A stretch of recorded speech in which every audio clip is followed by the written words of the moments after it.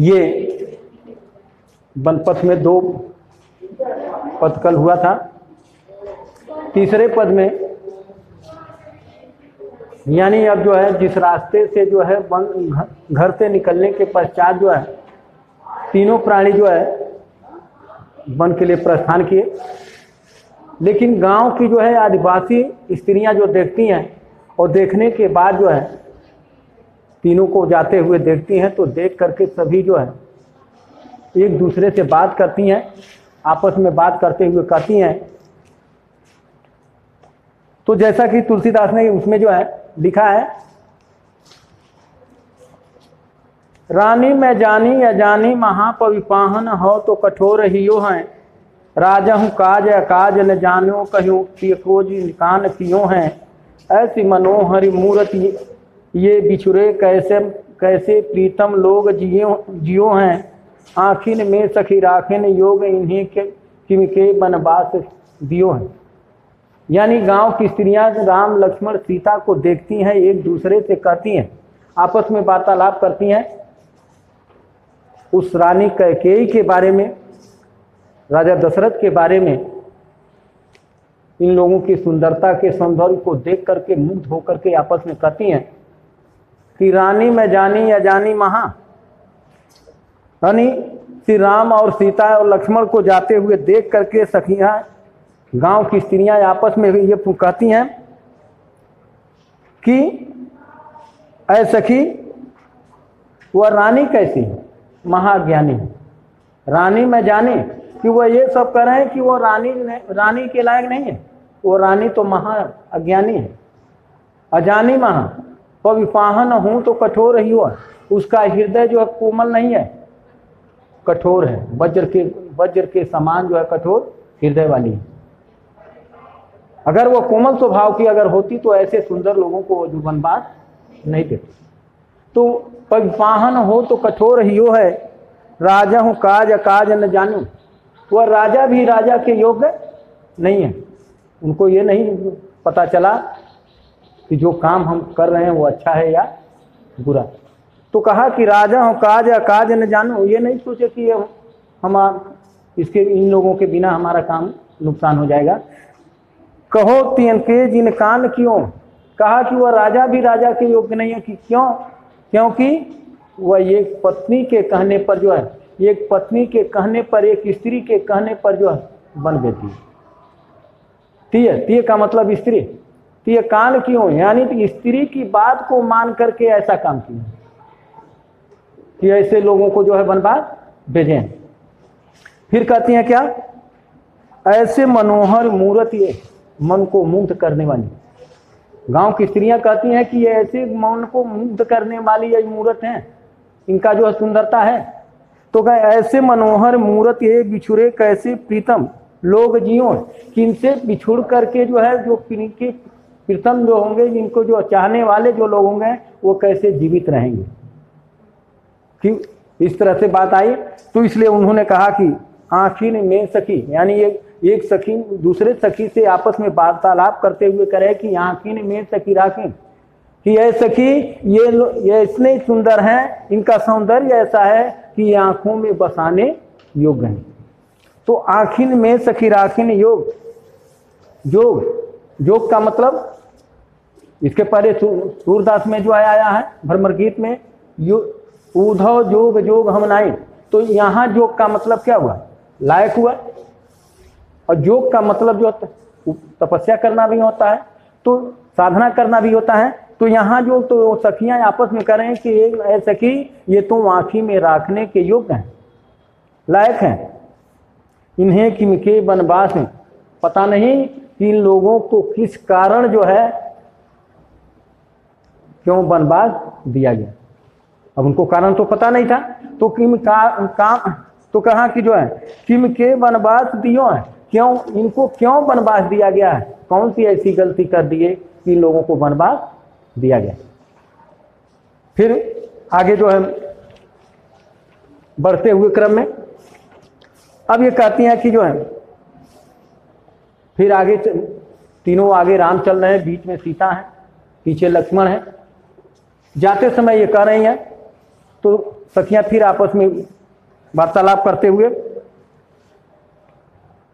तो ग्रामीण गाँव की स्त्रियाँ जो है बड़ी उत्सुक होती हैं और विशेष करके ये देखते हैं कि कोई नई चीज़ होती है तो उसको देखने के लिए तो चूँकि एक राजा के परिवार के थे तो इसलिए राम का नाम सुन करके सभी गाँव की स्त्रियाँ जो उनको देखने के लिए अपने घर से निकल पड़ी। तो कह शीश जटा उर बाह विशाल। तुलसीदास ने कहा कि जो है कि गाँव की स्त्रियाँ उनके सौंदर्य को देख करके उनके एक दूसरे से पूछती हैं, कहती हैं तो गाँव की स्त्रियाँ किससे पूछती हैं? सीता से? तो कहते हैं शीश जटा उर बाह विशाल। यानी राम के सिर पर जो है जटा बंधा हुआ था। तो शीश जटा उर बाह बाह भुजा विशाल, उनकी भुजाएँ लंबी थी। और उसे ये वस्त्रच्छल जो क्या था? सीना जो है, चौड़ा था। तो शीश जटा उर बाह विशाल बिलोचन लाल। बिलोचन आँख उनकी आँखें कैसी थी? लाल थी। तो बिलोचन लाल, तिरछी सी भवें और उनकी आँख की भौहों की बनावट कैसी थी? तिरछी थी। जिससे उनकी सुंदरता और बढ़ गई थी। तून सरासन बान धरे, तून सर्कस तून का मतलब सर्कस, जो पीठ पर जो धारण करते हैं तो तून का, तून सरासन बान धरे, सरासन, बाण, धनुष।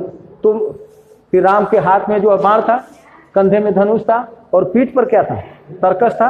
तो इसलिए तून सरासन बाण धरे, तुलसी बन मार्ग में सुच सोहे। यानी तुलसीदास ने कहा, इस रूप में जो है वन मार्ग, यानी वन रूपी मार्ग पर। वो सुशोभित हो रहे थे। यानी उस रूप में। आगे करें हैं सादर बारह ही बार सुभाय चिते। सादर, यानी बार बार चिते। तो करे कि सादर बार, बारह ही बार सुभाय चिते, उनका स्वभाव जो है बार बार लोगों, गाँव की स्त्रियों के, ग्रामीण स्त्रियों के हृदय में क्या हो गया था? चुभ गया था। बस गया था, तुम तुम त्यों हमरो मन मुहे। कहा कि वह जो है हमारे मन को क्या कर रहे हैं? मोहित कर दे रहे हैं। पूछत ग्राम वधु से यानी गाँव की स्त्रियाँ जो है इससे पूछ रहे हैं? ग्राम वधु, यानी गाँव की स्त्रियाँ। पूछत ग्राम वधु से यानी वो सीता जी से पूछती हैं, कहो सांवरे सखी रावरो को हैं? गाँव की स्त्रियाँ ने जो है, सीता से पूछा कि ऐ सखी हमको ये बताओ कि ये सांवले शरीर वाले जो आगे चल रहे हैं, उनके कहने का आशा है कि जो सांवले शरीर वाले जो आगे चल रहे हैं, वह तुम्हारे क्या लगते हैं? और जो तुम्हारे पीछे गोरे शरीर वाले हैं, चल रहे हैं, वह तुम्हारे क्या लगते हैं? तो इस तरह से एक दूसरे से पूछ करके जो है, बात करती हैं। तो सीता जो है, उनकी बातों को सुन करके क्या हो गए? वो भी खुश हुई। तो अब ये करें कि सुन सुंदर बैन सुंदर बैन सुधार ससाने सुंदर बैन बैन का मतलब बचन। बैन का मतलब तो सुंदर बैन सुधार साने, उनके अमृत वाणी जो है सुन करके। सुंदर बातों को सुन करके, सयान है जानक जान भली। यानी वो चतुर जो है, सीता भी जो है इतनी बुर्बक नहीं थी, वो भी सियानी थी, चतुर थी। उनके पूछने के आशय को समझ गई कि ये गाँव की स्त्रियाँ जो के पूछने का आशय क्या है। तो ऐसे स्थिति में जो है उन्होंने कहा कि जानक जान भली अच्छी तरह से उनको समझ गई कि इनके कहने का आशय क्या है। तिरछे करी नयन दसैन तिन्हें। यानी जिस भाव से जो है गाँव की स्त्रियाँ सीता से पूछी थी, उसी भाव से सीता ने गाँव की स्त्रियों को उन लोगों के बारे में बता दिया। तो ये कह रहे हैं कि तिरछी करी नयन दसैन तिन्हें। आँख तिरछी करके जो, आँख के इशारा से। बता दिया कि जो सामने सांवले शरीर वाले चल रहे हैं, वो मेरे पति हैं, और जो मेरे पीछे गोरे शरीर वाले चल रहे हैं, वो मेरे देवर हैं। उनके कहने आशय समझा दिया। तो इसलिए कहा, तिरछी करी नयन दसैन तिन्हें, समझाई कछू मुस्काई चले। वो समझा करके मुस्कुराते हुए जो है आगे बढ़ गई। गाँव की स्त्रियाँ भी जो है तो यानी इन लोगों में थोड़ा सा जो है, हाथ परिहास भी हो गया। तो जैसे ये कहा गया है कि किसी ने कहा है कि कभी दो दिलों की मुलाकात होगी, जुबा चुप रहेगी, मगर बात होगी। तो ऐसी स्थिति में जो है, उन्होंने जो उसी भाव में जो सीता ने जो गाँव की स्त्रियों को क्या कह दिया? समझा दिया। तुलसी ते ही अवसर सोह सब है तुलसीदास अवसर समय। तुलसीदास ने कहा कि उस समय ये तीनों व्यक्ति, राम, लक्ष्मण, सीता, ऐसे सुशोभित हो रहे थे। अवलोक लोचन लाहू अली, ऐसे सु अवलोक जैसे जो है, सीता ऐसे सुशोभित हो रही थी, राम और लक्ष्मण के बीच में थी तो जैसे कमल के फूल में भौरा सुशोभित होता है वैसे ही राम और लक्ष्मण के बीच में सीता सुशोभित हो रही थी। अनुराग तड़ाग में भान उदय, यानी अनुराग, प्रेम।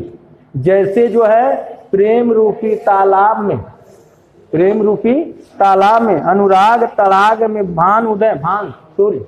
जैसे सूर्य प्रातः काल उदय होते हैं ना तो जैसे आदमी जो प्रफुल्लित हो जाता है, हंसता है तो थोड़ा सा उसका चेहरा क्या होता है? खुश हो जाता है। तो उसी तरह से जो सीता भी जो उन समूह की बात तो सीता की बात कम चल रही है। तो इसलिए अनुराग तड़ाग में भान उदय विकसे मनु मंजुल कंज कली। जैसे सूर्य के प्रकाश को पा करके, एक तरफ़ सांवले थे, एक तरफ़ गोरे थे। तो जैसे सूर्य के प्रकाश को पा करके जो है, कमल का फूल क्या होता है? खिल जाता है। और उसके बीच में भौरे जो है, मरनाने लगते हैं। वैसे ही राम और लक्ष्मण के बीच में जो है सीता जो है सुंदर सुशोभित दिखाई दे रही थी। तो अब जो है यहाँ पर जो है, ये आपका तुलसीदास जो है, यहीं पर समाप्त हो गए। अगर किसी को परेशानी हो तो फिर उसको जो है बाद में उसको समझ ले, लीजिएगा। लेकिन मिनट हुआ दे देखना तो तो अब इसमें जो है दूसरे कवि के रूप में, दूसरे कवि के रूप में जो है, अब आते हैं बिहारी।